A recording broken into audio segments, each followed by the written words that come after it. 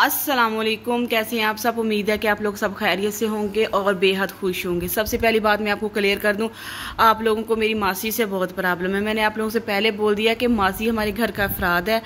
ये हमारी वीडियो में भी आएँगी और सारा कुछ आएँगी। ताकि ये हमने कभी फ़र्क नहीं किया कि ये हमारी मासी है, जो भी है, हम इनको अपने घर का अफराद समझते जिनको प्रॉब्लम है, वो ना देखें। और ना ही मेरी मासी में किसी चीज़ की कमी है। अल्हम्दुलिल्लाह, बहुत प्यारा, खूबसूरत इंसान है। सही हो गया। अब बात रहेगी देखो, मेरी मासी बगैर मेकअप की।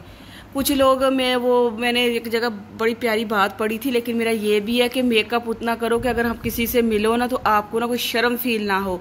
और दूसरी बात ये थी कि आप लोग ना किसी को इस इस तरह से बात करें कि किसी का दिल ना दुखाएँ, किसी को इतनी तकलीफ़ ना दे कि नेक्स्ट टाइम जब आपको किसी से काम पड़े या उसके साथ आपको, आपकी मुलाकात हो तो आप लोगों को कोई शर्म फील ना हो ठीक है ना? आपकी नज़रें ना झुके।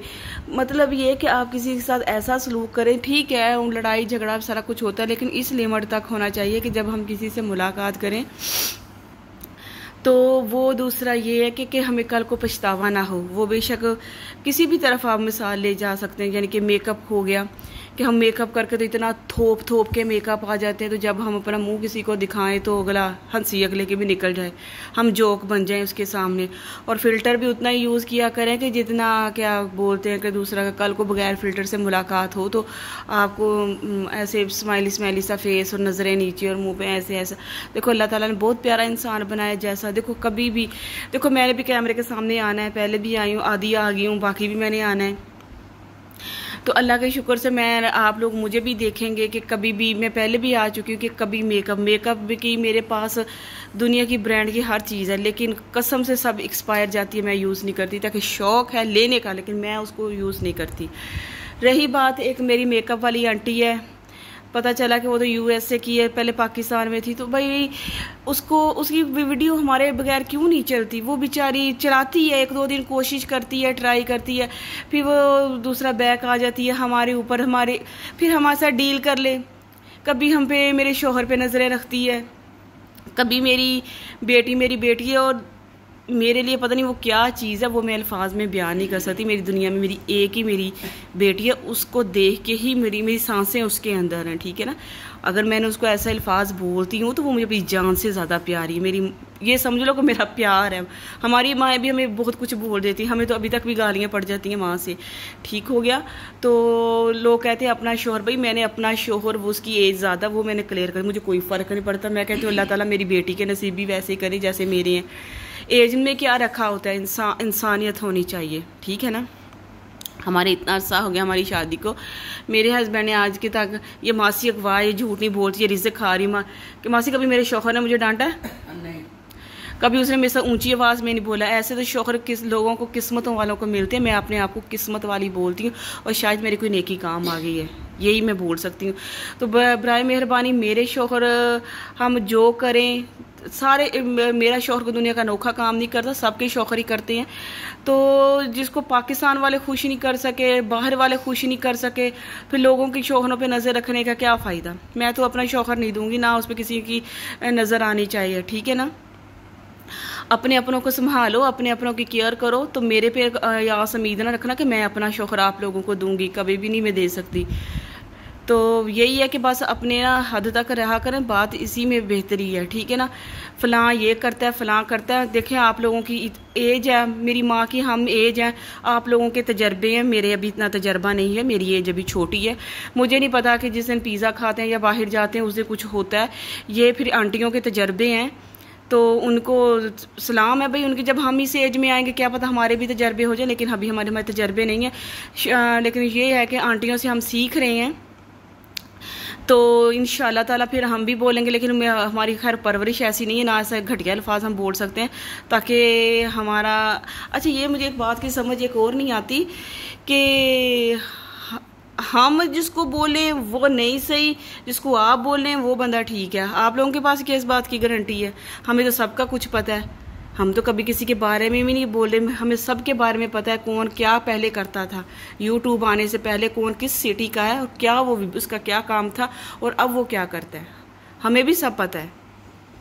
लेकिन हमें, वो कहते हैं ना, आप किसी का राज छुपाओगे तो अल्लाह ताला क्या मतलब दिन आपके राज भी छुपाएँगे। लेकिन ये खैर, इन इन औरतों के लिए ऐसे इस्लामी धरने नहीं चलते तो ना मैं चलाऊँगी। तो तबीयत मेरी ठीक हो गई है। अब मैं हर का ईंट का जवाब तुम लोगों को पत्थर से दूँगी और विद प्रूफ के साथ। मुझे सबके प्रूफ का पता। अब जिसने भी कोई बात की, मैं उसके प्रूफ के साथ उनको सामने नंगा करके छोड़ूँगी। मैं आप लोगों को बता दिया। ठीक हो गया ना? तो मुझे किसी का ना डर है। डर में डरती हूँ मैं अल्लाह की ज़ात। रिजक देना मुझे अल्लाह की ज़ात ने। ठीक है ना? तो ये कुछ मुखालफों की वजह से ना तो मैं घिरने वाली हूँ, ना मैं झुकने वाली हूँ, ना मैं कभी झुकी हूँ सिवाय अपने रब की ज़ात से। और रही बात कि आज क्या होना है, कल क्या होना है शॉपिंग करवाइए तो फ़लाँ काम होता है वो शोहर ये कर सॉरी, आंटियों, अभी इतना मुझे तजर्बे नहीं है, आप लोगों के तजर्बे हैं। आप लोगों के तजर्बों को मैं सलाम करती हूँ। हमारी जान छोड़ें, मज़ा तो तब है कि हमारी वजह से अपने चैनल हमारे जब हमारा और डीडी का नाम ना है तो आप लोगों के व्यूज़ ही नहीं आते। फिर आप लोग हमारे साथ डील करें ना। मज़ा तब आता है ना कि हमारे साथ डील करने। भाई, हमारे चलते नहीं हैं। दो तीन दिन कोशिश करते हैं आप लोग अपनी वो वीडियो उठा के ये ये ये करके, फिर वो नहीं चलती। फिर हमारी आँखों पे बात आ जाती है। अल्हम्दुलिल्लाह, अल्लाह ताला ने दी है। हमने खुद तो नहीं डाली। अल्लाह ताला ने बनाया है। तो आप भी अल्लाह ताला से कोई नए काम कर लेती है आप लोगों के, आप मेकअप की भी ज़रूरत नहीं है, अल्लाह का शुक्र है। ये तो नहीं है कि वीडियो बनानी है, भाई मेकअप थोपना है काफ़ी सारा ये, वो सारा कुछ करके।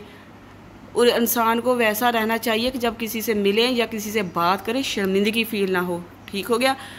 तो किसी बात का मुझे कोई खौफ नहीं है, बनाओ।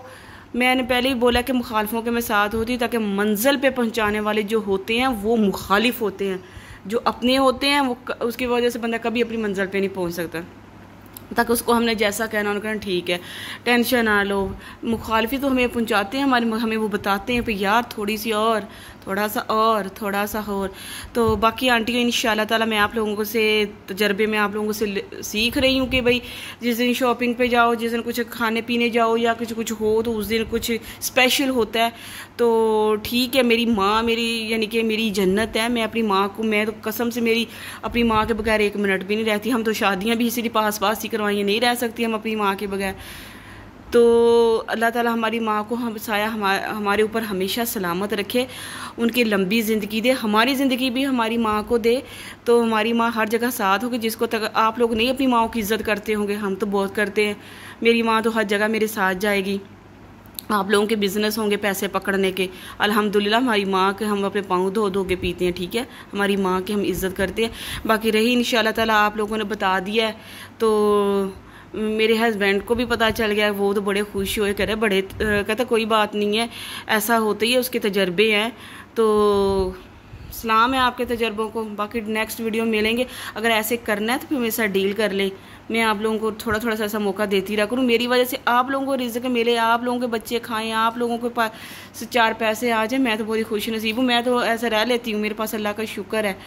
मैं तीन टाइम जो भी मैं अमीर बन जूँ सेठ बन जूँ जो भी अरपति बन जूँ खाना तीन टाइम ही है, बल्कि मैं दो टाइम ही खाती हूँ, ताकि दूसरा, मुझे अल्लाह ने रिज़्क देते रहना, आप अपनी फ़िक्र कीजिएगा। मेरी वजह से आपको रिज़्क मिले, मैं सलाम करती हूँ, अल्लाह का तेरा शुक्र है। बाकी रही बात नेक्स्ट वीडियो में, अब मैं छेड़खानी करती रहूँगी, आप मुझ पर वीडियो बनाएँ। ताकि मुझे ये तो होगा कि मेरे दुश्मन मुझे रिसर्च कर रहे हैं। बाकी रही नेक्स्ट वीडियो में मुलाकात करते हैं। तो आपके तजर्बों का शुक्रिया आंटी। मैं जब इस एज में आऊँगी ना तो साठ साल की एज में जब मैं भी आऊँगी मैं भी ठोक ठोक के तजर्बे मैं कहूँगी मैंने अपनी आंटियों नानियों से सीखे हैं। ठीक है? नेक्स्ट वीडियो में मिलते हैं। तब तक के लिए इजाज़त दीजिए। मासी इनको बाय बाय कर दे। बाय